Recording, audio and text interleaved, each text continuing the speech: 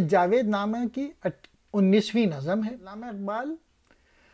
मुख्तलिफ़ सैारों पर जाते हैं यहाँ उनकी मुलाकात अतारत में सईद हलीम पाशा और अगवानी से होती है। दोनों बहुत बड़े मुदब्बिर हैं। सईद हलीम पाशा ये तुर्की से इनका ताल्लुक़ था। तो वो ये कहते हैं कि पाशा कहते हैं? कि इकबाल तू अपनी शायरी के ज़रिए नए जोश पैदा कर।